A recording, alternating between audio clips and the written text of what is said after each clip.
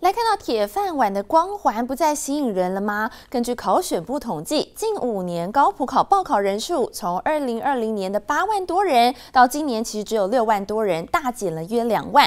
而考选部分析，公职报考的人数雪崩式下滑的原因，包含少子化的影响，还有就业市场竞争、公司部门增进新乡镇乡竞逐、专业技术人才、民间企业提出更好的诱因，也让公职相对示威。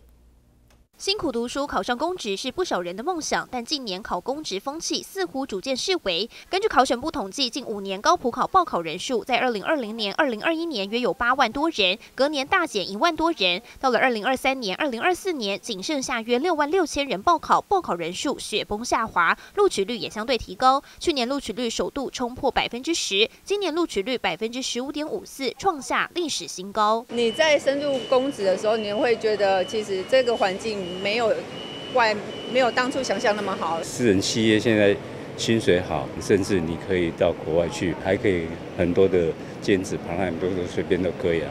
那工资也，或许啦。